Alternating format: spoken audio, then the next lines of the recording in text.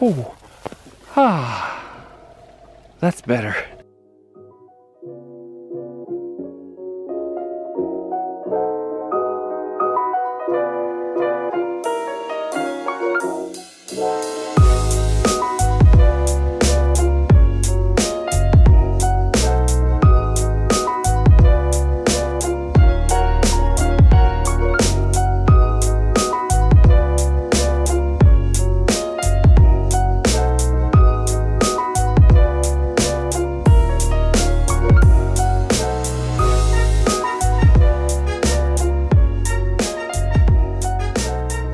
So today we are winterizing our animal setup a little bit and I wanted to explain to y'all our rationale for having the chickens outside in the garden.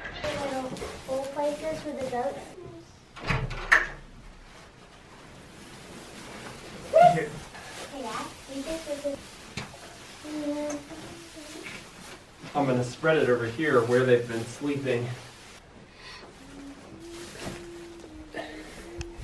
So, I thought long and hard about this and have been thinking about it ever since we got the chickens. One of my ideas was to put the chickens down in one of the empty stalls in this barn.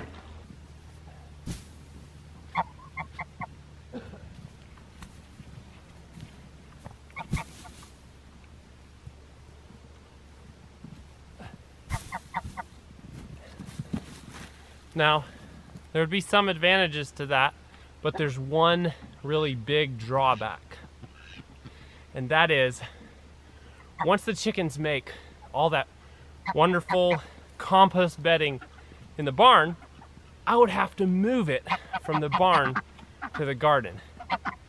And with 30 chickens, um, making probably 250 pounds of manure in the four, three or four months that I would have them in there, if I kept the carbon nitrogen balance right, I would have to add in a ton of straw and a ton of carbon material. That would be several thousand pounds of compost that I'd have to move up the hill. So I'm not going to do that.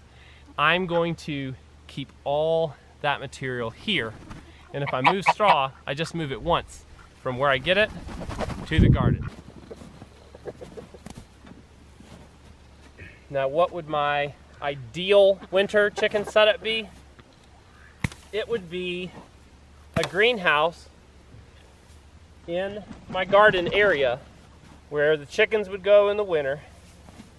You would use a deep bedding system, and then when the chickens were moved out in the summer, you could actually grow in the greenhouse, and you could grow there for really three quarters of the year. Now I hope to actually have a greenhouse by next winter and to keep our chickens and also keep a hog in it that can work together with the chickens to deeply turn all the bedding.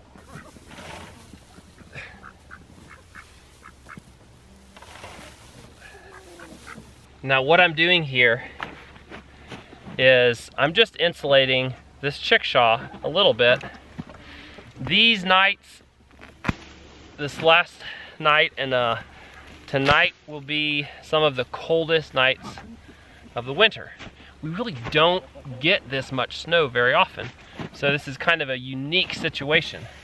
If I lived in the Midwest or lived in uh, the Northeast or part of the country that gets a lot of snow every winter and has those sub-zero temperatures throughout the winter every winter, then I would not be keeping my chickens in a chickshaw.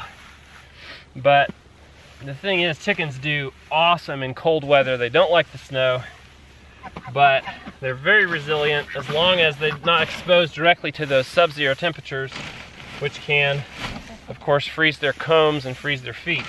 So the rest of this week is actually supposed to be back to kind of normal winter weather for us. Normal winter weather, um, lows, in the 20s, 30s, even 40s later on this week. Now this straw is not cheap, but the cool thing about using this straw in this application is that there's no waste here.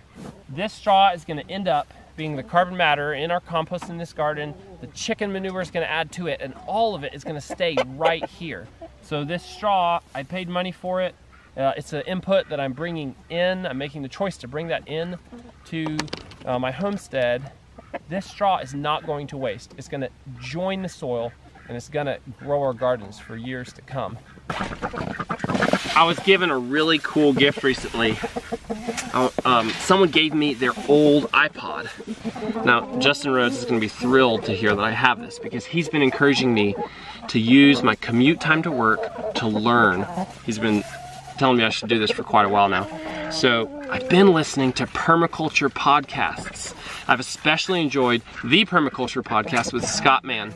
In one of my favorite episodes so far, he talks to his guest and she's talking about how small farm operations that don't input or import a lot of animal food can actually be in some ways um, less productive than kind of factory farms that are input and output based.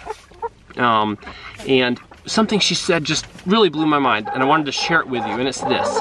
While those big farms may um, be more productive per animal, chickens lay more eggs, um, you know, steers grow faster, broilers reach uh, butchering age a little bit sooner, they're leaky systems. That's what she said, they're leaky systems. There's a lot of waste. So using straw in this application is a great example of kind of a multi-purpose use of resources. We're using this to insulate the chickens, but then it's gonna enrich our soil as well. Now the chickens will have this torn out of here in a couple days. We'll have to add more. So something that might look like a great inefficiency actually has very, very little waste. So that's what I love about having chickens in the garden. The chicken food you buy, it doesn't go to waste. Not only do you get eggs, and if you're raising birds for meat, you get meat, but the chickens also create this huge amount of nitrogen in their poop. And the nitrogen is one, a plant nutrient, if you're careful with it, and two, it's fuel for a compost pile. It's fuel to break down the carbon materials, which are much less expensive and more easy to get in the form of wood chips, straw, leaves, um, and waste plant material. Something else we do for the chickens in the cold weather is we give them a little extra food. You know, they've got to keep their bodies warm. It takes more calories. It takes more calories to stay warm in the cold weather. And they will eat it, I promise. They will gobble it in this weather. So there's my multi-purpose permaculture winter chicken insulation job. What you doing out here? The last one? You sorry to see this day go? The chickens are happy. We spent a lot of time out here with them today and they all look really good. It's a beautiful evening out here. The moon is coming up and is, you know, has this halo around it.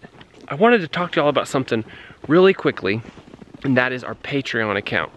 Some of y'all won't know what Patreon is, and that's fine. Patreon is an organization that allows you to...